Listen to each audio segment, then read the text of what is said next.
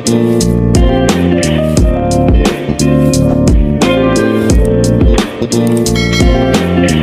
guys, welcome back to my YouTube channel. So hari ini aku bakal bikin makeup doin yang kayak bener-bener sedetail itu untuk kalian yang baru pemula belajar mau makeup kayak Korean look model doin ini bakal pasti ngebantu banget. Aku udah bare face, ini aku udah cuci muka juga.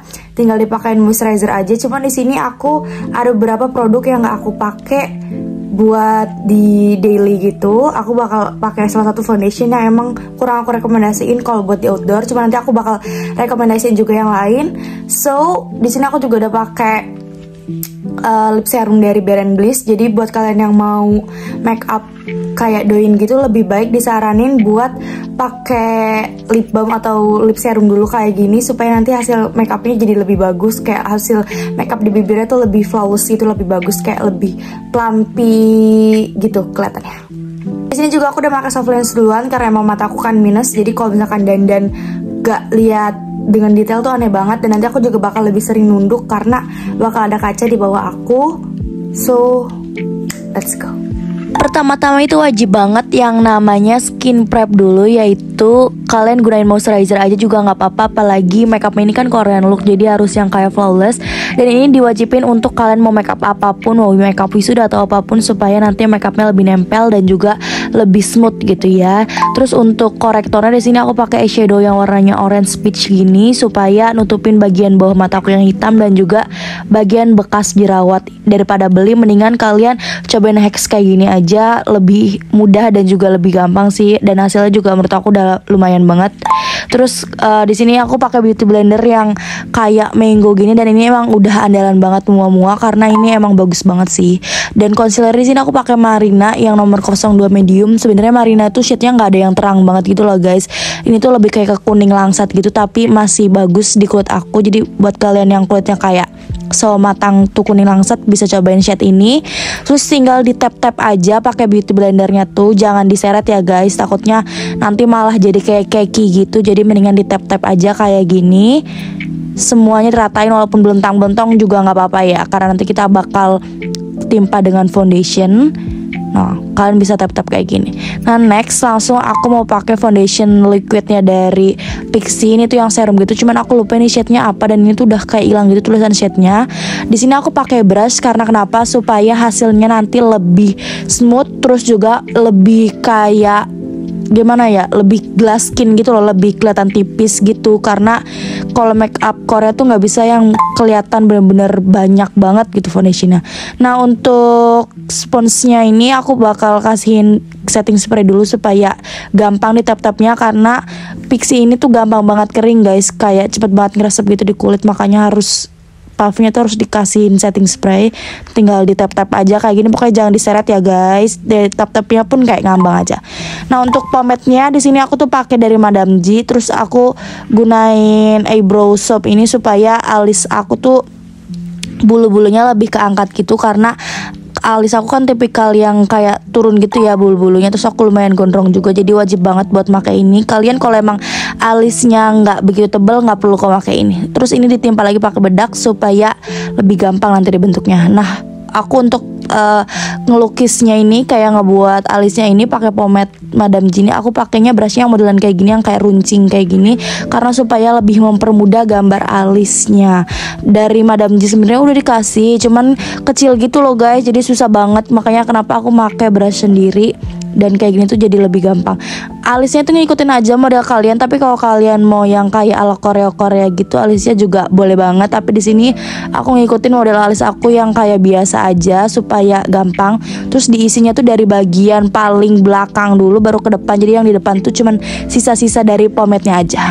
Lakuin juga sama di sebelah uh, kirinya kalau misalkan kiri dan kanan gak sama pun gak apa-apa guys. Nanti kan bisa dikonsilerin jadinya nggak usah takut salah kalau ngalis tuh. Pokoknya kalau makeup tuh jangan takut buat nyoba. Pokoknya coba-coba aja karena gak ada yang tahu di kulit atau di muka kalian tuh looknya bakal kayak gimana.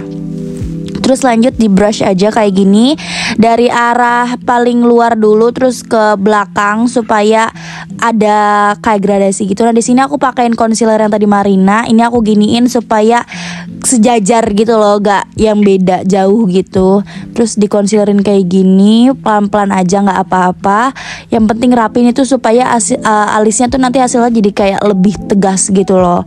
Di concealerin dan gak berantakan. Apalagi aku kan banyak bulu-bulu yang berantakan gitu kan. Nah itu di concealerin fungsinya untuk itu. Tapi kalau kalian mau ngeskip pun gak apa-apa ya buat yang bulu alis yang gak gondrong dan emang alis tuh paling lama aku biasa kalau make upin orang pun alis tuh paling lama bisa sampai 15 menit 20 menitan karena harus disesuaikan sama bentuk muka kita masing-masing gitu loh karena kadang ada aja yang co gak cocok gitu di muka kalian bentuk alisnya jadi usahain cari yang bentuk alisnya cocok di muka kalian biar gak kelihatan aneh di sini aku list powdernya pakai produk Lamela dan ini tuh bagus banget. Dia tuh kayak bisa nahan minyak gitu loh. Ini aku taruh di bawah mata dan juga di smile line supaya gak crack. Jadi kalau kalian mau pergi-pergi keluar wajib banget kayak gini ya supaya nanti gak crack. Nah kalau misalkan tadi kayak aku tuh kaget ternyata di brushnya tuh ada bekas tadi yang bekas korektor gitu nggak apa-apa guys pokoknya kalau makeup tuh jangan takut awalnya aku tuh pakai yang warnanya krim gitu terus lanjut ke yang orange peach gini supaya ada uh, dimensinya gitu loh di kelopak matanya. Terus di sini dipakai ini yang warnanya lebih merah, terus dipakainya tuh di bagian ujung mata doang sampai ke bawah. Karena nanti di bagian tengahnya bakal diisi juga. Nah, di bawahnya kayak gini. Terus di brush aja bekas-bekas bedak tadi. nggak apa-apa kok, guys. Nah kayak gitu Kenapa aku taruh bedaknya tuh di bawah mata juga Karena di bawah mata tuh suka banget crack kan Jadi itu tuh bakal ngebantu supaya nggak ngekrek. Nah ini yang lebih merah lagi aku taruh di kayak bener-bener di ujung banget deket bu, uh, bulu mata. Tapi kalau ini sebenarnya kebanyakan tapi nggak apa-apa kok karena bisa di blend-blend kayak gitu dan di sini aku bakal bikin uh, kayak seprapat lingkaran gitu ya Pokoknya kalian ikutin aja kayak gini Dari yang awalnya tuh yang di depan itu bikin setebal mungkin terus ke arah belakangnya itu semakin tipis jadi buat gradasi. Nah, terus lanjut aku bikin eyegosal di sini pakai eyeshadow warna kayak choco brown gitu. Dan di sini aku pakai brush yang tadi bekas alis karena brush ini tuh bener-bener bagus banget buat bikin uh, eyegosal terus ditaruh juga tuh buat kayak dimensi matanya supaya lebih bagus nanti bentuk eyegossalnya kayak gini kalian bisa ngikutin aja ya guys. Terus ini aku pakai glitter liquidnya juga dari Lamela kalau nggak salah. Ini produk Cina emang bagus-bagus banget ya produk Cina tuh. Nggak tahu kenapa. Aku pakai cuman di sebundaran gitu doang. Terus lanjut pakai eyeliner. Di sini aku rekomendasiin ke kalian itu eyeliner spidol kayak gini karena bakal lebih mudahin kalian buat ngegambar apalagi buat pemula. Nah di sini aku bikinnya emang versionnya yang gede gitu karena aku mengikutin uh, model make up Uzang atau si ininya tuh yang eyeliner emang besar makanya kenapa aku bikin yang besar. Sebenarnya kalau eyeliner kayak gini aja tuh udah cukup. Terus next di sini aku langsung uh, ngeratain pakai loose powdernya yang tadi, yang produknya Lamela. Nah di sini lem bulu matanya kalian pakai dulu di bulu mata palsunya. Habis itu kalian jepit dulu nih bulu matanya. Terus kalian kasih lem di atas eyeliner yang tadi udah kalian buat habis itu sambil nunggu kering biasanya uh, aku tuh make upin yang lain dulu karena gak boleh nih masih basah kayak gini langsung ditempel karena nanti gak bakal begitu nempel loh. Di sini aku bakal pakai blush dulu di situ aku pakai eyeshadow yang warnanya merah gitu. Nah kalau misalnya sendiri ini kemerahan tapi nggak apa-apa. Jadi tinggal ditambahin bekas-bekas concealer atau foundation aja di tap-tap. Ini pemasangan bulu mata kayak gini ya guys. Gampang banget tuh. Ini tuh lem yang rakat banget aku bener-bener rekomendasiin banget lem bulu mata dari Jasmine ini. Kalau udah ditempel kayak gini tuh kalian tinggal diangkat-angkat aja ke atas kayak gini. Tapi emang ini bulu matanya rada kayak kotor gitu karena aku nyimpen bulu mata ini cukup lama dari lebaran guys. Jadi nggak pernah kepake kotor gitu. Terus ini tinggal di kayak di rapit rapitin rapet rapetin gitu. Sebenarnya di rapet rapetin harusnya pakai alat cuman daripada kalian nanti mikir harus beli lagi jadi pakai tangan aja juga nggak apa-apa kok. Terus di sini eyelinernya aku tambahin lagi supaya nggak aneh ya bentuknya. Tinggal dirapin aja. Pokoknya kalau kalian lihat ada garis eyeliner yang kurang rapi pokoknya rapihin aja sesuaiin kayak gini hasilnya.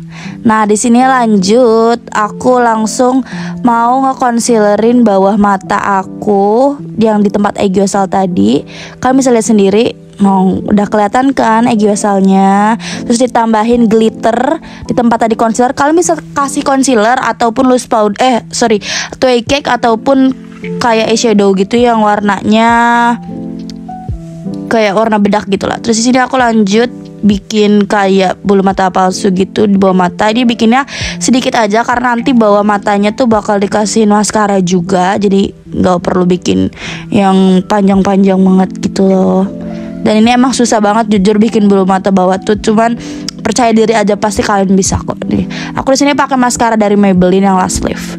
Terus next ini aku malah nyoba-nyoba mau bikin kayak ujung eyelinernya kayak kayak gini. Cuman ya udahlah ya nggak apa-apa.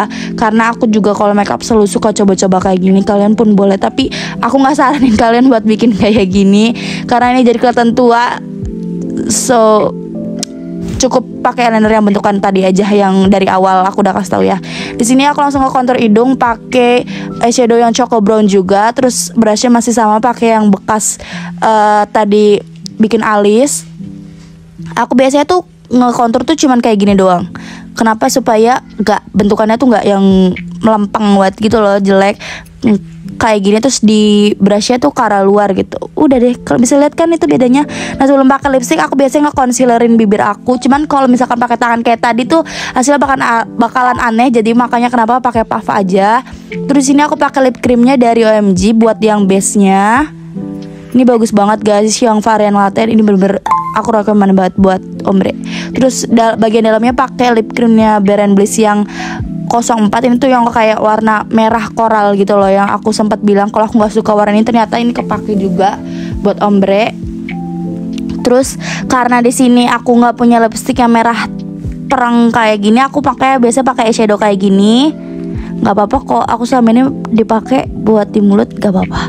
Nah kayak gini dipakein aja Pokoknya di bagian dalam-dalam gitu. Nah nanti di dalamnya lagi Lebih ke dalamnya lagi Aku bakal kasihin kayak yang warnanya tuh Merah mau ke ungu gitu. Nah di bagian sini tuh merah mau ke ungu gitu. Jadi bener-bener ada tiga dimensi gitu ya gradasinya. Jadi hasilnya bakal jadi lebih cantik no.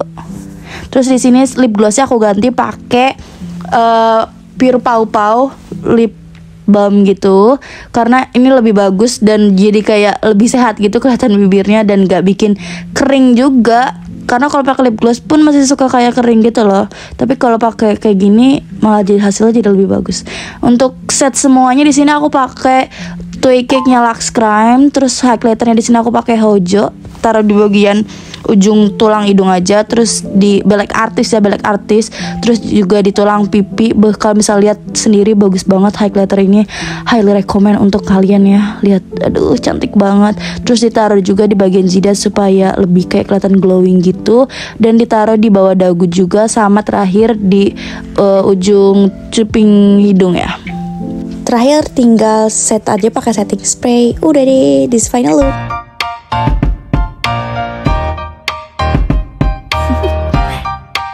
Do you want to know? Well, I've been thinking about it.